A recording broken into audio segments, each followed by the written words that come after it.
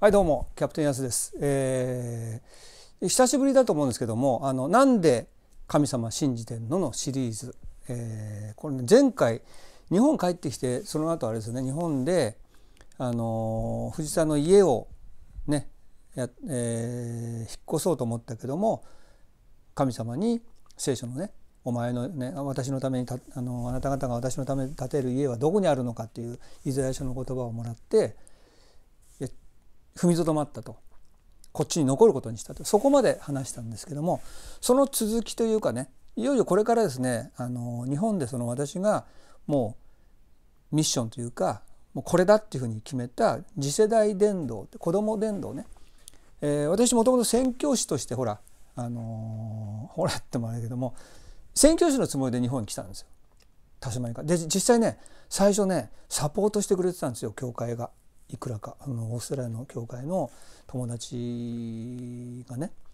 日本で宣教師日本に、あの福音を伝えるっていうことで実際サポートもしてくれてたんですけどもまあそんな感じで日本に帰ってきてで自分はもう最初からあのまあ、子どもたち日本の子どもたちにっていうのがあったんですがそれがねこう日本に来て本当に日本の子どもたちに福音を伝えよう日本の次世代に最初は子どもたちでねで決まそういうふうになっていった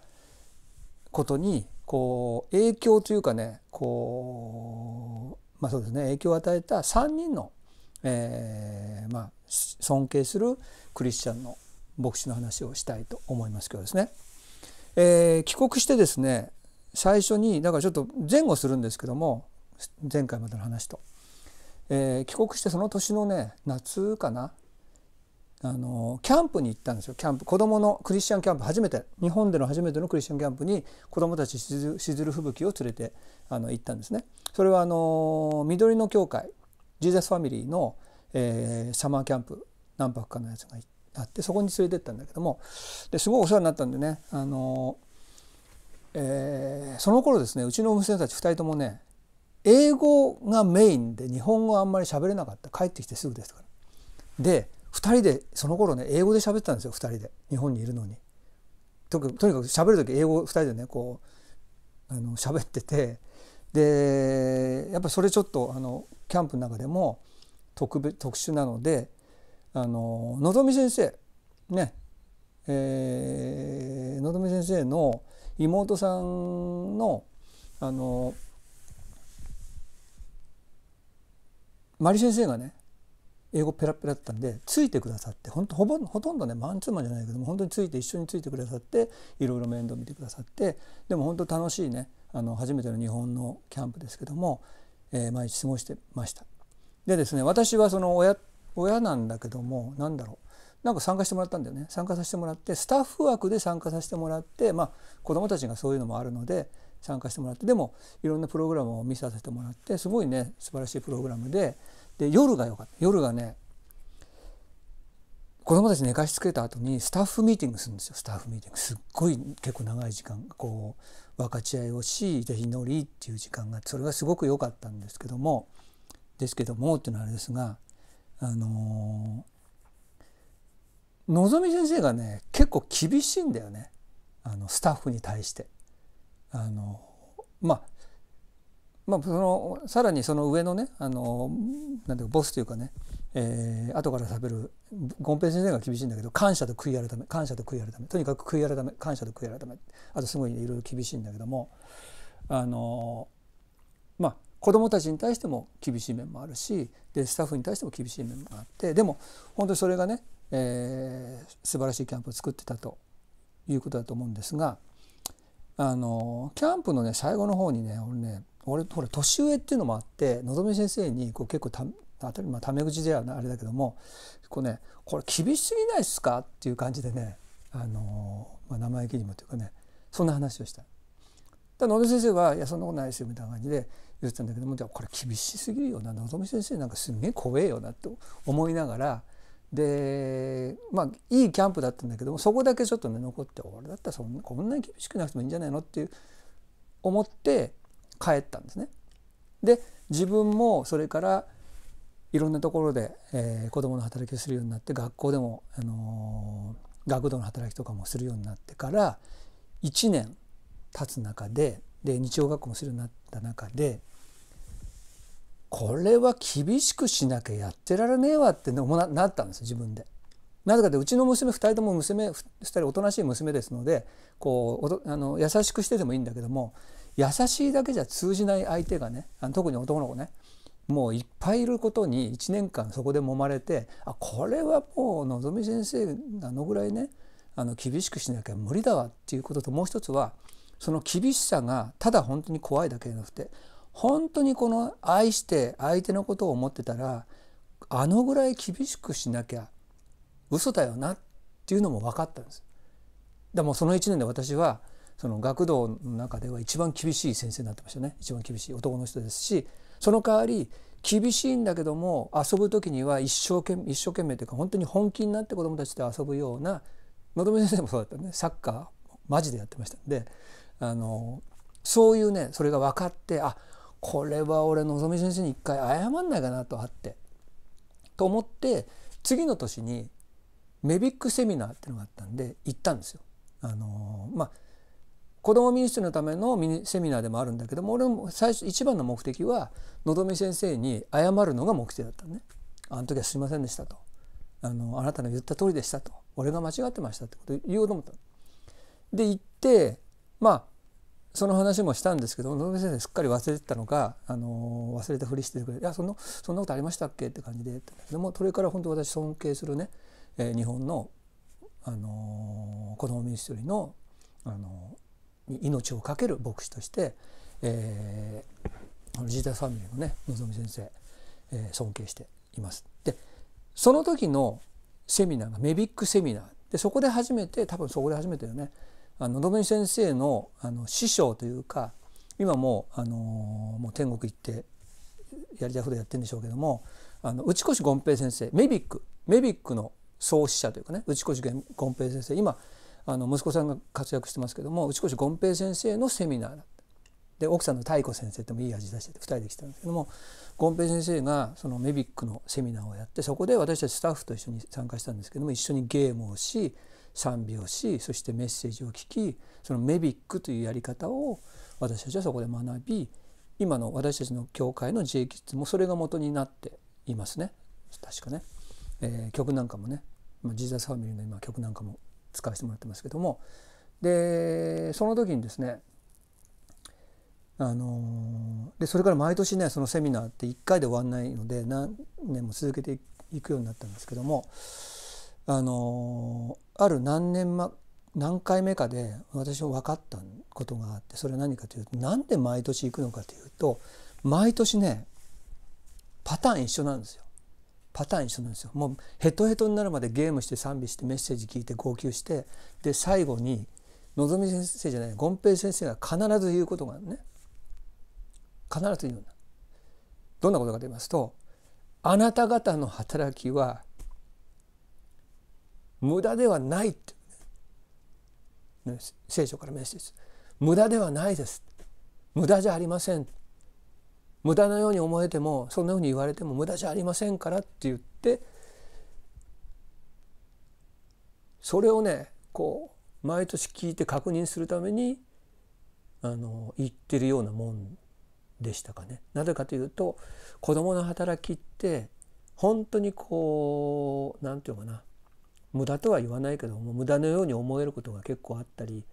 えー、で何よりも子どもの働きって何かしないけど大人の、ね、教会の中でも大人の働きが一番派手なところですごく地味であったり何かこう大事にされてなかったりっていうのがあるんですよ実際なところ。どこの教会にもあると思います。そういうねあのこれ教会校の先生は分かると思います。なんかこのこうね、大事にされてない感じまあ分かんないですよ違うとこもあるかもしれませんけどもなんかこうなんだろうやってることもそうですしいや大人のこれ牧師がみんなだってそうです牧師が子どもの働きは進学とかもそうで子どもの働きは大人の働きをするためのまあこう登竜門じゃないけど通る道というかね。こう道の途中でしかないと。だってそうですよね。子供相手にしてもしょうがないですから大人の方ね。大人の方がメインであってまあ子供の方はそれにこう付属するようなこれってしょうがないと思うんですけども。でもそういうのがこう1年間でやっててもそういう中で頑張って頑張って日曜学校の先生たちがこれをねやっていく。で子どもたちなんかも大人と違ってもう正直ですから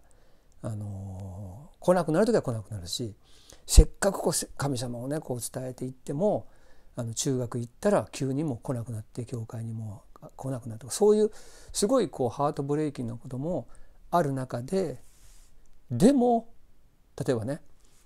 鮭がね、えー、こう鮭の話よくしてたね鮭の話をして鮭がこうこう何万っていうね卵を産んでもそれが帰って川に戻ってくるのは数匹しかいない数十匹しかいない、ね、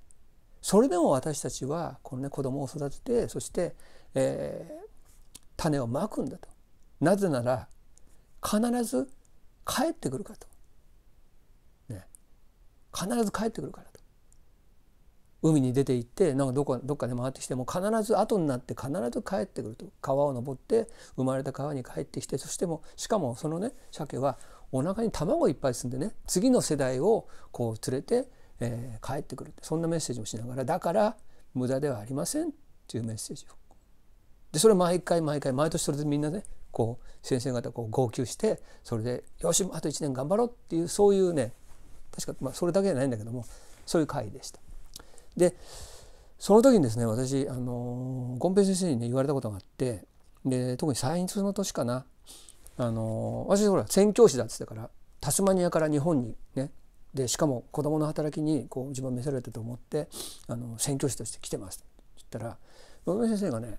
「あなたの所属はどこなんですか?」っていうふうに聞かれたね。所属まあ要はおかしくないですかっていうふうに多分言ったんだと思うんですよ。あなたはどこの所属なんですか？どの教会の所属なんですか？私は薩摩ニアからの宣教師です。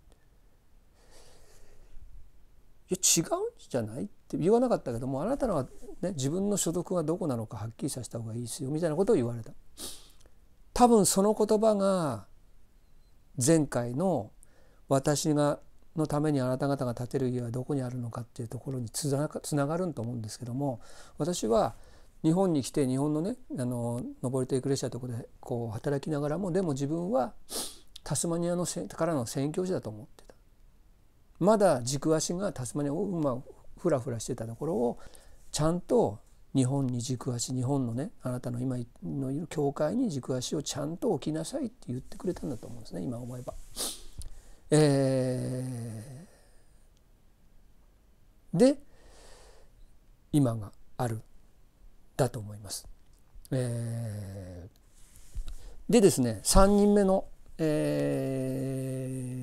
ー、影響を与えた人この3人目が一番ねあの私にとって影響を与えたんですけどもそのメビックセミナーが何回もあったんですがそのところですねその何年目か分かんないけども教会学校セミナーっていうのを緑の教会でやるっていうのを緑の教会？違うな。本郷台だ。本郷台の教会でやるんだけどもまあ主催というか主催者側にのぞみ先生がいて、えー、でも狭いんだ。そう その頃まだ狭かったんだ。あのジーザスファミリーまだ狭い時で。で広いね本郷台の教会でその教会学校セミナーって 3, 3日ぐらいかな。通いで3日間か4日間通いで7,000円って当時としては今でもだけど教会学校セミナーで7,000円って高くねえかって最初思うぐらいのものだったんですけどもなぜか私はそれに行かなきゃって思うようになってでしかもスタッフも連れていかなきゃっていう何かそういうのがあってで信仰によって私の本当にねあの小さな信仰によって7,000円のチケットを俺自分で買ったの自腹で切って6枚買ったのかな。確か6人ん？違うな。最初何枚だったんだろう。最初4人か。最初4人だ。4枚買ったの。最初4枚買って4人スタッフ私と妻とあと2人ね。教会学校の先生2人を連れてでもう信仰によって払ってもらったのかな？自分たちはね。でも誰も決まる前からもう4枚買って最初に買ってこの4枚この4人を連れて行こうってことでその教会学校セミナーに行きました。でそこのあのゲストスピーカーがビル・ウィルソンというニューヨークのブルックリンで、えー、2,000人3人かなとにかく世界最大の教会学校をやってる牧師ということで、えその方がゲストだったんで私見たこと会ったことない初めてでまあ大きな教会でねダイヤモンド工場だったのかなもともとねすごい大きな教会でそこでビル・ウィルソンに会ったんですけど最初ビル・ウィルソンがですね最初は来た時にですねここにね大きな絆創膏貼っていうかこう何貼ってるんですよ。で話をしてたのは何でかというとニューヨークでね撃たれたらしいんですねこう銃で。しかも口の中にギャンなんかね、ま、街でこう捕まって金出せって言われて口の中に銃を入れられてもうもう死んだと思ったけども撃たれた瞬間こう顔をねじったらここにここねほっぺたをここを貫通して銃弾が抜けてったと。でその2人組かなんかはもうあ死んだと思ってそのまま行ったんだけどもその後自分で起き上がって、こう血もだらだら流れてるんだけど車を運転して病院まで行ったっていうそういう、まあ、笑い話じゃないんだけどもでもそういう牧師なんですね。でまだその絆創膏を貼ったまま日本に来て子供の働きを続けている、えー、今でもそのメッセージは覚えてますしその時にもらったこのねサインというかもう聖書はボロボロですがその時にもらったサインがここに。ここですね。ビル・ウィソンナンバース16の48、えー、民数記ですよ。最近やってる民数記のあのアロンがね祭壇から火を取ってそれを生けるものと死んだもの死んでいくものとの間に立った時に神罰がやんだと、えー、あれですよ。生けるものと死んで死に死にゆくもののギャップ間に立てというメッセージをね、えー、その時確かしてもらったんですけども本当に私の、あのー、まあ、次世代伝道子どもたちで伝道への決め手になった人でした。なぜかというとやっぱりその時まで私はいやそうは言ってもやっぱり牧師たるものというか牧師というのは最終的には大人に向けにねしていくものであって子供が最終地点じゃないよねっていうのがどっかにあったんですがこのあのビル・リソンははっきりもう子供伝道子供の伝道一本子供の伝道でいけるんだと。本気で子供ミニストリーをやるんだというねそういうあの献身というものをねえー、教えてくれた牧師でした、えー、しかもその献身が半端なただの子供好きじゃなくて本当に命を懸けるぐらいの献身と。こんな話をねこんな例えをね、えー、自分でも使うのよく覚えてます。あの献身と貢献の違い。献身と貢献の違い。貢献っていうのはねまあまああの例えとしてねあるところにこう豚と鶏がいたと。仲良しの豚と鶏がね。豚と鶏が歩いていたらそこに倒れてる人がいた。倒れてる人がいた。もう死にそうな人がいた。で豚と鶏は相談してよしこの人助けよう。どうしよう。この人もうねお腹空いてるしもう本当に今にも死にそうだから何か作ってあげよう、えー、でそこである提案をするんですね。あのじゃあハムエッグを作って食べさせてあげよう。ハムエッグを作って食べさせてあげようとでこれが献身と貢献の違いですっていう、まあ、そういうあの話をしてたんですね。豚と鶏の貢献と献身の話貢献っていうのは鶏ですよね。で献身っていうのは豚ハムエッグでいうと、えー、卵をね産んでそれをあげるのかそれとも自分がハムになって、えー、それを与えるのかとそんな話をねもっと面白くね、あの面白くというかもっと、あのちゃんとストーリーで話したんですけどもとにかくね1日目のメッセージから本当に私はあの感動してというかねでそうだそれでその日にこれは娘たちにも聞かせなきゃと思って1日目終わってんのに7,000円かける2払ってってこれ確か払ったんだよ。これは娘たちにも聞かせたい。まだ小学生だったんですけどもしずると吹雪2人を次の日は連れてきてもう高いから負けてるともう面倒くさいから言わなかったんですけども払って参加させて3日間のそのセミナーに出ましたえー、そこで本当にね貢献献身とは何か貢献じゃなくて献身とは何かそして子どもミニストリーのえー、何たるかっていうのを、えー、学びました、えー、彼の教会学校は本当にニューヨークのブルックリンで毎日子供が死んでいくのは大人も子供ね自分も死にそうになったんですからそういう場所でした、えー、でもそこでどうやったら子供たちとコミュニケーションができるかどうやったら子供たちのお世話ができるかどうやったらコミットメントできるかと、ね、コミットメントだ。献身。豚とにコントリビューションが貢献か、ね、コミットメントっていうのはそういうもんなんだと、えー、そしてもう一つねあの3つの C がねコミュニケーションケアリングコミットメントね、えー、新しいコミュニケーション、ね、新しいコミュニケーション子どもたちやな。新しいケアの方法ケアリング。新しい貢献コミットメント。でもう一つね3つの M っていうのもあって新しいレベルのメンタリティメンタリティこうボートから出なさいっていうね。箱から出なさいボートから出なさい。新しいメンタリティでで2番目が新しいモチベーション。動機何があなたを動かしているのか、えー、このメッセージもね、あのー、すごい良かったんだけどもこの3つの M の方は新しいメンタリティと新しいモチベーションがあれば3つ目は自動的に見つかる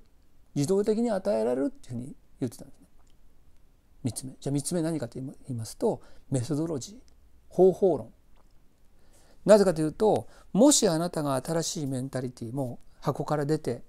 えー、湖に、ね、上を歩き新しいメンタリティもこう四角いね何かこう型型にはまったものじゃなくて新しいメンタリティを手に入れてそしてモチベーション